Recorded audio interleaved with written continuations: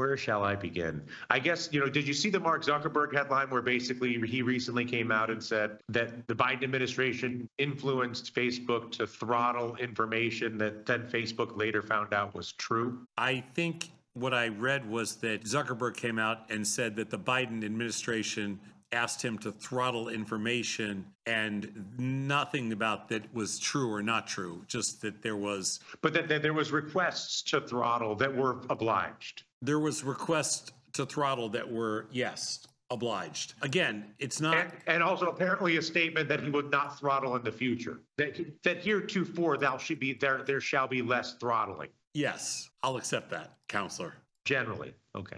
So you, have seen this news item, as it were. Yes, There's I also did. a news item about recent arrest, incarceration of a young fellow responsible for an organization identified as Telegram. Are you familiar with this news item? I am. I am. My buddy Pavel.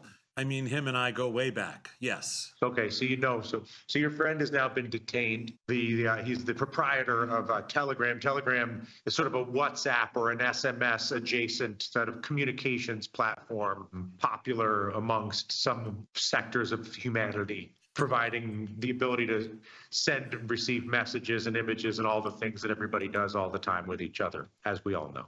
Yeah, yeah, I mean, it's a fine, upstanding citizen he is. Yes. That I can't say. I, I don't know the man. You, he's your friend, so yes. I, I don't know. Mark Zuckerberg explicitly stated that there is U.S. government pressure to throttle from time yes. to time Yes. Then there's a third individual you might have heard of, whose name is uh, Elon, who has spoken at great length about throttling and attempts to throttle a social media platform he purchased by the name of Twitter. Yes. Yeah. Who happens? The thing I love about this discussion, just just to put it in some context around it, you gave me the founder of Telegram, the founder of Facebook, and the owner of Twitter. That's what I've given you. Yeah. I mean, no chance that any one of those three is talking their book either, right? You're suggesting that they might make public comments that have a conflict of interest with, with other private interests that they might hold. I'm suggesting that the owners of those owners slash founders of those three of the largest social media franchises might have a slightly different take on those social media franchises than the rest of the world. So let's not take everything that they say as the gospel, okay? Because it's not. Fair, okay, we shall quote oh, them. Oh, one other one other thing I should mention: not only are they Please. the founders Please. and or and or CEOs, owners of those three social media apps, so not only is everything that they say probably you know not the only thing we should be paying attention to, but they are also all three of them are among the they're all multi billionaires, and two of the three are among the richest people in the world. So I just want to frame this so that we're clear that you're sitting here about to make the case for the defense about three of the richest people in the world who happen to also be the founders and CEOs of this company. And you're going to give me, I'm, I'm just assuming because this is the lecture I've been getting from Victor Jones all week, that I'm going to get a lecture on free speech from these three wonderful, outstanding citizens. But keep going. Your efforts to prejudice the jury. I think they work quite your, well. with your preemptive commentary. I think they did quite, I think they did their job. Yeah. Only serves as an insight to the fragility of your of your case that you're left with no alternative but to attempt to preemptively assassinate the character of the witnesses rather than to abide the content of the affair which we haven't even gotten to yet because we're so busy setting the stage. That would be fair except that i think that i was actually being quite kind to these three people that on the one hand you know you're going to make a passionate de- defense about free speech on the other hand there's plenty of people that can make a very passionate argument that all three are sociopaths two things can be true at the same time Yes, they can. I'm just stating a fact. Okay. Richest people in the world, owners of the franchises, and probably sociopaths. But go ahead. I can so but I like this. So let's go down this path. Let's assume that Pavel, Elon, and Mark are are three of the most evil humans in the in the world. Yeah. I mean, I don't have, I don't think they're the most evil humans, but They have a conflict of interest with broader, with the broader interests of society, Sure. and that they have delusions of grandeur. Sure. That they uh, have, you know, various sociopathic, sociopathic traits or cluster B personality characteristics, sure. and all the things. Yeah. Let's also assume that the primary source of information on Earth is platforms that they control or similar platforms that they don't control that provide a similar function. Okay. Google, Amazon, like some sort of these mega platforms, Amazon, not really, but these mega platforms that have replaced Walter Cronkite or, you know, the, the New York Times or whatever, the arbiters of information. I'm, I'm, I'm accepting that, counselor. Yes. Of course, of course. How could you not? And let's assume that those platforms frequently distribute information that is sometimes true and sometimes false, sometimes damaging, sometimes beneficial, sometimes in the interests of the government, a, a particular government, since they're global in nature. So sometimes they're transmitting information that is to the advantage of a given government. Okay. Sometimes they're, sometimes they're transmitting information that's to the disadvantage of a given government. Do you believe that any government should have the ability to throttle or propel specific swim lanes or verticals of information that they either like or don't like? Of course. Yes. Elaborate. I, I'm not so sure that I, I don't know what you have to elaborate about that. You, you think that, um, So you, you're saying governments should be able to, so I mean, I I guess here's what, what's perplexing for me. One of the primary criticisms of the America's arch nemesis over the last century, I'm, I'm referencing Russia and China in this instance, is that they are nations dominated by propaganda as defined by Sure. the idea that the government determines what information should or should not be made available nec- to the that's, people. that's not necessarily the case. Do you believe that America is governed by propaganda? I do. Really? Okay, then we have a Oh, yeah. problem. I don't believe it is. Oh, we do have a problem for sure. We have a problem. I don't believe it is. There are certain places. That's because you've been propagandized. No, The, if I talk to my friends in Russia and Beijing, they don't think there's propaganda there either. It's I, that's, I don't. evidence. I don't agree with that. If I talk to my friends in Russia and China, they do believe it's propaganda. They just they learn to live with it, but they believe it's propaganda. But But, but let's not get into our personal beliefs. I want to because I want to stay. I, I understand. One of the reasons that the U.S. actually works is because we don't govern by or have that level of propaganda. It doesn't But, I- but, exist. I, but again, okay, that's not a worthwhile use of our time because it's such a we're so far apart on the topic that it's just gonna it's gonna go nowhere because the, the entire nation is permeated by propaganda at a level that is exceeds Russia and China as far as I'm concerned. But there's a different issue, which is you said, if I heard you correctly, that you believe the U.S. government or any government should have the right and does have the right to throttle or not throttle information on Telegram, WhatsApp, Facebook, Twitter, whatever. but we do. in Did I correctly? in this country we do we don't actually give you the right you don't have the right to say whatever it is that you want to say about anything because there are certain limitations to there are certain kind of there are certain fences in this country of what you can and can't say that's the difference you can't do So certain things So give me an example. What is we- under the first under the principles of the First Amendment and the right to free speech? sure you have the right to free speech as long as but you don't have the right you don't have the right to solicit you know a 10 year old for sex you don't have the right to provide terrorists with the ability to you know to create bombs and you don't have the right to to get people to gather around to Un- uncontested. Uncon- Okay. You don't have to make right. examples. All Un- right. Uncontested. so we have So we do a- have we do have a bunch of you know No, no, we don't we have, have a some bunch of. We have one. No, no, we have one restriction, which is information that explicitly puts the public at risk. fine okay that's good You cannot re- scream fire in a crowded theater. That's not free speech. You Yeah. cannot right prey upon children. You Okay. cannot. Yeah, so we have this. Free speech. Right.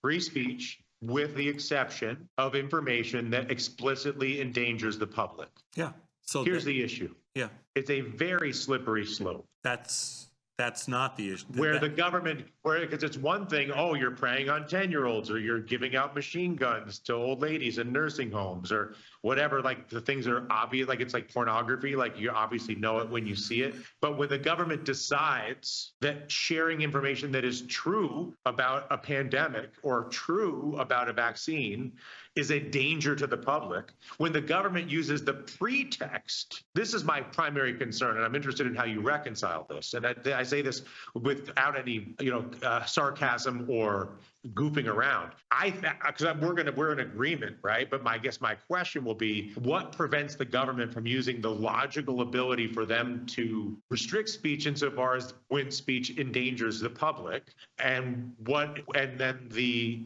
government's Yeah. use of the claim that it's a danger to the public to just control information that either Sure. Donald Trump is a danger to the public. Well, Yeah. it's because the that's government decided Donald that, Trump. that is that is the gray area. That is the thin thin blue line or whatever you want to call it that we walk all the time in this country. It's also the reason why Zuckerberg is and Musk are not in jail like Pavlo Dur- Durov is.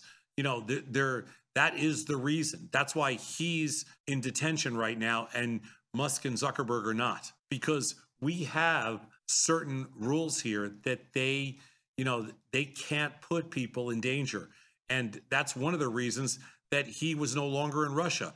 That's one of the reasons he's wherever he is in Saudi Arabia, wherever he lives. And one of the reasons he couldn't go back to France. And because civilized society has those kind of protections in place, and that's exactly why Musk isn't behind bars because he hasn't crossed over that line.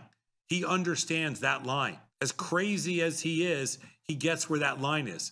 As crazy as Zuckerberg is, he gets where that line is. So that's Is okay. it not obvious, though, that I mean, I think the COVID pandemic ex- makes it very clear. No, because COVID used is a gray area. the, use the pretext of dan- a public danger to rest- to throttle when in fact it was in the interest of the pharmaceutical companies to sell to make money and if and if they, and if ivermectin was a known cure then there would not or known known treatment I shouldn't say cure but a known intervention then it would have made it illegal for them to do what they did with the vaccine and I'm That- not saying that that's true or false but I'm saying that's that not that, dis- fair. that discussion was not had because That's it was not deemed to be fair. in the public good and it was influenced by the U.S. Why is that not fair? because you're you're you fast forwarded four years and you're looking backwards and if you go back four years and nobody knew what's going on and there's a half a million or a million people dying around the world and you have to do something okay you can't sit with your hands in your pockets and go da da da da da this is all bullshit it's impossible you had to take action and you had the smartest people in the world you know, telling you this is what we should do. Whether they're right or wrong, they did it all with it was genuine what they did. You can't have a bunch of complete morons out there telling I- you, "Hey, this is this is stupid," and and and I you're supposed it. to I- listen to the morons. Forget that. I, I'm not suggesting that, but what I'm suggesting is I'm, I don't. I agree with everything you just said. But is that not the time when you want the most discussion? In other words, at the moment where you have so much risk and you don't, and there's and maximum uncertainty, and you don't know what's going to happen. I know, you can't go anyway, my- back. I guess we're not going to solve that, and that's not. Yeah, we're not gonna or solve that, and you can't go back but, but four ha- years. because it has to do with the throttling. My point is that you talk about you call it the thin blue line. You can call it throttle, not throttle. Right, okay. It's obvious. Don't give everybody a nuclear bomb. You know, don't steal the Yeah. children. Like there's some things, whatever. The issue right now at this moment in history, whether it's GDPR privacy protection in the Europe, which is probably the most enforcement around digital life is in Europe. And where a company can go to jail because they gave away Tom's information. You know, there's a there's some websites you Sure. can't visit when you're in London, whatever. I guess what I'm getting, it's obvious we're at a moment, whether it's Brazil and Musk, whether it's Telegram going to jail, or whether it's Zuckerberg at least trying to preemptively say, listen, throttling happens. I'm sorry, I'll do what I can to sort of be less throttly, but I don't even know what that means. That we're sort of at a collision course here between the power of information and the social media, the central, the the the, the, the monopoly on information platforms or oligopoly on information platforms is the greatest threat to government power ever. Ooh, I don't know if that's I don't know if that's fair. I I don't know if that's fair. But the, the I just don't buy the argument. I can't I can't actually stand the argument that this is that this is about free speech because it's I, it's not. Like I I just don't like that argument. I don't like But how do you how do you feel feeling like when you see something when you see information whether it's from a Google search or from a TikTok, Instagram, whatever, all the way we all kind of get pinged with notifications, whether we want them or not on our phone, like whatever comes in, however it comes in, whether it's from this one or that one. Don't you want to have a sense that that information is has some version of reliability, some aspect of reliability associated with that whatever information you're consuming? I mean, for me, I'll just just give you like Yeah, the thing of that course. that- the answer is of course. Of course. and don't you feel that knowing that the government throttles or doesn't throttle uh, compromises that? I I don't know. I don't know that that's a fair statement. Is my point. I don't. The government has a, responsibility not to throttle information that they. You're going back to a time in 2020 when What they, about Hunter Biden's laptop? I mean, again, these are sort of t- so politicized. I don't yeah, I the- that- into that's that's a stupid, stupid. That's but that's my- idiotic. But, But it was, but I'm just saying it was a famously throttled. I understand, but you're going back to the pandemic in 2020 and you're saying, well, they knew this. They didn't know this. They didn't know it. Nobody And knew when you don't know, right? But when you so they because they didn't know, they still took aggressive action to throttle information. Did you be Because- throttling information when you don't know? That is the right course of action. If you don't know something, don't say it. Like don't put information out there that you don't know. You can't you can't scare the children. You can't put information. I know, but, but but can you put a vaccine in people that gives heart attacks to young men when you don't know that the vaccine doesn't give young men heart attacks? But the other side to that is you have a million people dying. You have multiple millions of people dying around the world.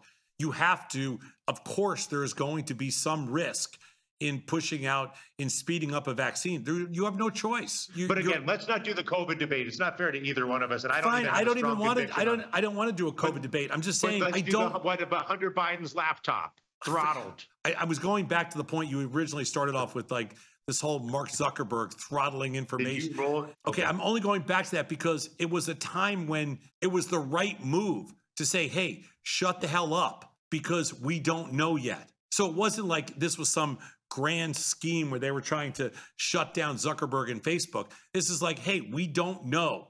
So don't say anything. And that's completely reasonable. So forget COVID. Okay. It's generally accepted. So here's some things that, that at least I think are generally accepted. Okay. It's generally accepted that the places that we spend our time on our telephones, so like when I stop my thumb and look at boats or look at you know whatever, I get more advertising for things, right? Or that our that our phones are observing our where we point our attention and that they're listening to us and that they feed us adver- I'm not complaining about it. I'm saying it's generally accepted that the phone is a surveillance tool. You that do is know that used to- you don't, you're not required to have a phone. You can go off the grid if you'd like. You can have I'm a not landline. complaining. I know, I but am you could have a landline. I, I'm I'm not I'm telling you these are facts, okay? The phone is a surveillance device. that you choose to carry. I pay money. Sure. I just more not only do I choose it, but I work and generate income so that I can give it to phone companies so that I can surveil myself for them. there, you go. Yeah. Okay. I mean, it's nuts, but that's not my point. It's also generally accepted that the government, whether it's the US government, the Russian government, the Chinese government, routinely interacts with the social media companies and says, take down this post, take down this post, take down this post. Okay. On the on whether it's the Russian government saying you better not be putting that on, Chinese government, Brazilian government, doesn't matter. All the governments, but the big Okay. governments attract more attention, obviously Okay. everybody's comfortable. People have accepted that the phone is a paid surveillance device because Okay. they're like, oh, I like, I like getting ads that All right. things I want. Where are you going with this? Where are you going? I fear we are slowly boiling the frog, where there's an increased comfort with information throttling that is not a public risk, surveillance that is not in the self-interest of people, and that we're very quickly moving to a place where both it's not Elon Musk and Mark Zuckerberg and Pavel Durov versus the government, actually, even though it appears to be. It's the social media billionaires and the government combined creating a false reality for the for global populations basically to perpetuating a reality that is in their mutual interest. And i feel that you have no concern about that. And i know that tony battista has a concern about that. And i guarantee victor jones has a concern about that Yeah, I, I, I don't. The I don't think, I think Ilya Spivak probably could care less about this. Sure, of course. And I think Chris Vecchio right now is not quite sure what to think about all this. But you and Ilya, but you're the you're the you're the brain in front of me at the moment, and I'm genuinely curious why you feel so comfortable as a frog in the pot, allowing yourself to go through this slow boil First of all, of that's, surveillance and throttling. that's not how I would classify it, but you made a common argument, and unfair comparison, because Okay, I'm sorry. Russia and China and other places like that that do tell you to take down social media posts are very different from what happens in the US. And in the US, the people that take you tell you to take down a post are the companies themselves, like TikTok. No, no, no, I'm not. I'm talking about the government back channel to Twitter, back channel. I'm not talking about Twitter saying to Dylan Ratigan, knock it off. I'm talking about the State Department or the Department of Homeland Security No, no. emailing the head of compliance at Twitter, Facebook, saying you got to take down that thing, whatever the thing is. Right. And, that- and I'm saying that does happen in this country. Mark Zuckerberg said as much. They came out in the Twitter files. There's no question there's a back channel. in this country, what happens is it's Facebook's job and it's Twitter's job, uh, whoever else that operates here. It's their job, which is why Telegram, by the way, doesn't necessarily have a presence in the US. Why Telegram is mostly Russian and other places like that. China. China, whatever.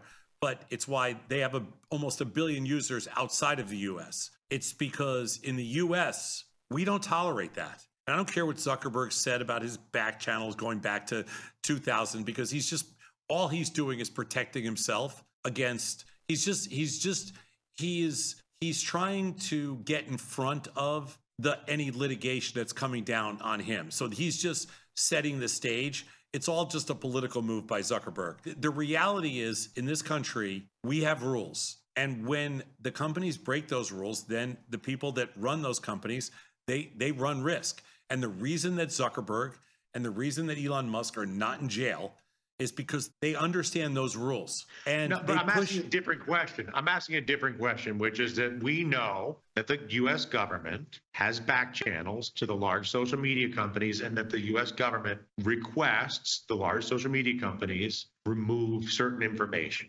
we we know based on a few little pieces of of discussion topics from CEOs of these social media companies that again are getting out in front of litigation and fines against them. We don't know that from we we know from the people We that have the it. most to lose. We don't actually know that They provided the emails. I mean, are you saying that all of the emails when after Musk bought Twitter were fabricated? I mean, they had No, not at all all. the servers. There's all the emails from the government to Twitter saying, "Take this down. Don't do this. Don't do this." It's- That's it's- right. There, there are all these emails saying, "Hey, this is these are the rules. Just understand." We get the same thing on the brokerage side, same thing in finance, same thing in every other aspect. Everything Same that's thing with the regulated. exchanges, with New York Stock Exchange, Of course. Binance, Of course. Hey, hey, these are the rules.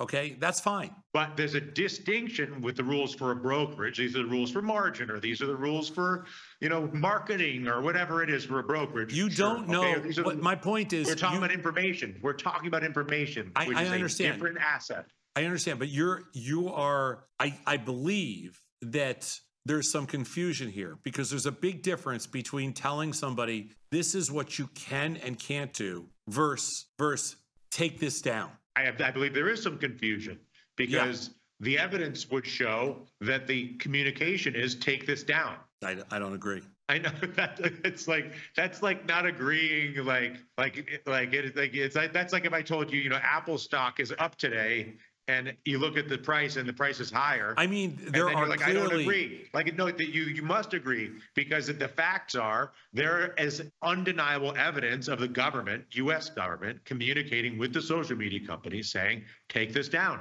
there's whatever it might be. there's a lot of evidence of the U.S. government telling social media companies what is and isn't acceptable. Yes, but yes, but there's also evidence of. I, I know, but it's a, again, you're. I think you're blurring the lines here because I think that the reason, again, they cross that line, then somebody goes to jail. If they don't cross that line, then it's just, hey, or somebody gets fined or whatever it is, if they don't cross that line, it's like that's how these guys stay out of jail. That's what happened in the case of Telegraph. They crossed the line. Telegram. Telegram. They crossed the line and they refused to listen. They got their But warnings. this is my curiosity. I understand all that, but this is my curiosity. And then I say this with utmost patience, respect, and an open mind and an open heart. It is a fact that the US government communicates with the social media companies, not just what the rules are, but also that they would like those social media companies to specifically remove specific pieces of information. I think if they're a danger to our, if they're a danger, if they're a danger, sure, that's totally fair. The examples that have been surfaced are not child trafficking, weapons dealing, cocaine kingpin infrastructure. It is vaccine information. Granted, I, we don't want to go into that pile of hornet. Sure. That I, I, that's a special situation. So I'll even put that with. I'll accept that the vaccine is more like weapons and cocaine than anything else. It's a, a unique and individual situation. Not Sure. the vaccine, the, the, the uh, pandemic. But there are examples of political information that has been explicit requests removed. And that is concerning for me, not because I have a political opinion one way or the other. I'm quite offended by both political parties and famously so. So it's not that I have a care that, I, that they're, oh, they're throttling this side or that side. But I do actually, I genuinely have a concern that that is happening. And I have a genuine concern that that's happening in a way that other people believe it's happening, probably more than it is. And I think that it's also, I agree with you that it's in the sociopathic billionaire CEO's interest to make it appear that they're vulnerable because then they can play the victim, which is ridiculous. I, I, I so so I'm not. There's a bunch of int- so there's there's a kernel of my point I- is I- this. There's hear you. There's a kernel of truth that then gets amplified by you know media interests, political. They're like, oh, they the Fox or the MSNBC are like they did this horrible thing, whatever. You're like, oh my God, they did this thing, and then you have these CEOs and founders saying, look at this, you know, and that that to me, the, the collective reality of that then leads to the a compromising of the trust and integrity of information in general, which is a real risk to civil society, in my opinion. And I, I guess I'm I'm perplexed as to why you're not more alarmed. I will tell you why, because I believe they played you. You've been played. It's not just you. There's a lot of people like you that have been played. This is it is 2024. You are replaying to me a 2020. You're you're you're taking a 2020 Not true. this this whole anybody that uses the vaccine or I'm not using the vaccine. yeah, that's the only example you have. No, That's it's not. it. They just took the Telegram guy off the playing field because they, he's trafficking information people don't like. That's Brazil hold took- on. ju- Brazil, That's- Brazil just took Twitter off the playing field because, because they don't like. Or, Stop. That's not why. They took the Telegram guy off the playing field because he wouldn't play ball. Okay. He he wouldn't play. He didn't listen to them on anything. It wasn't just drug trafficking. It wasn't just it wasn't there were so many areas of criminality they couldn't turn the other way. With Elon in Brazil, he wouldn't there was like seven accounts at question. He wouldn't deal with those. These are specific points. They, everybody tries to generalize this. These are Okay. specific instances. My can I? in- I, I all right, go ahead. in the US, in the US, I do not like, accept, or buy into for one second anybody that brings up the vaccine or the COVID argument because what happened in 2020 was a I was agree. an isolated the- binary event that had so to be addressed. all And evidence the- of throttling but the only is- argument is vaccine related. the only argument that all of these free speech people have, the only argument is, oh, what about the vaccine? That's it. There's That's nothing not else. true. No, no. They, Oh my God. You know what else they have? What? Oh yeah, Hunter Biden's laptop. I don't even know what Hunter Biden's left. Who the hell's Yeah. Hunter Biden? Of course you don't. Of course you Who don't. 'cause cares? Because it was throttled. Who because it cares? was throttled. Yeah. Okay. But all, all of a sudden it's all I mean, I just, I really, see, this- why would you? No, no, but you got to pick your position. No, no, I, no, But I have a different question. Like I have a anybody that brings up question. A Hunter Biden's question. laptop, he's not an elected official. What do I care about him? I don't care. I'm not. I'm not talking about the relevance. I'm talking about evidence of throttling. Oh my God, Okay, that's but- ridiculous. That's Yeah. ridiculous. No, no. Now you're now you're just giving me the anyway. No. But I'm not even gonna. I don't. I'll accept all of it. Here's the issue. Yeah. I just want to make sure I understand your position.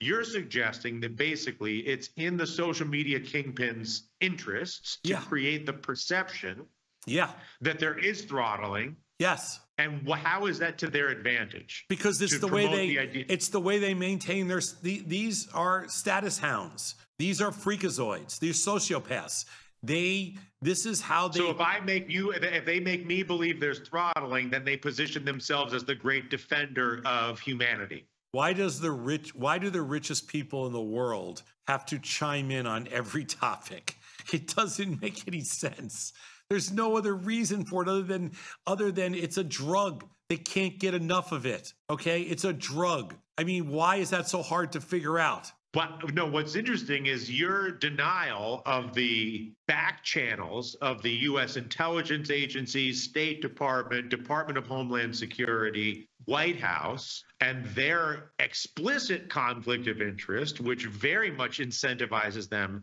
to utilize their power to request information be removed. That is- that much is- as they.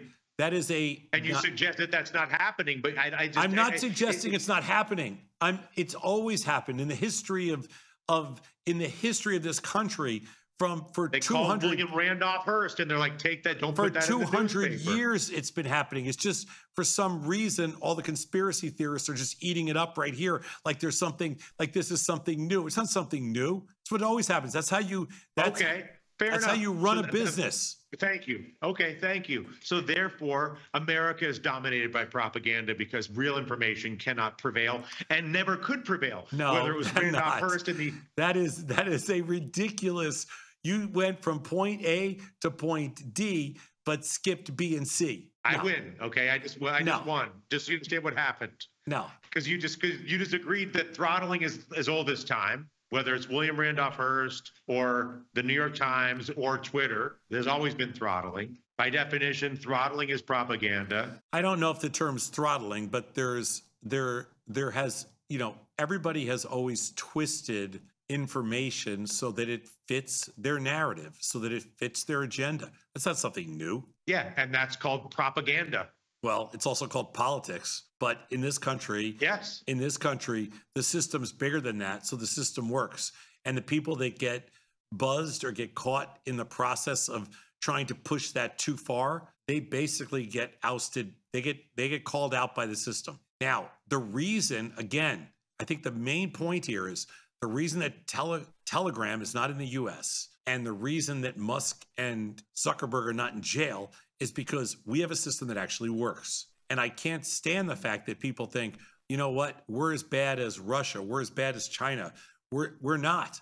We actually have a system that works. And it's it's about time that people just kind of just backed off and said, "Hey, you know what? Enough of this conspiracy bullshit. Our system works and we self-police it. And yeah, there's going to be a few things that happen throughout time, binary events or things that slip through the cracks, but the reality is our stuff works. And for the most part, the majority of information is pretty good.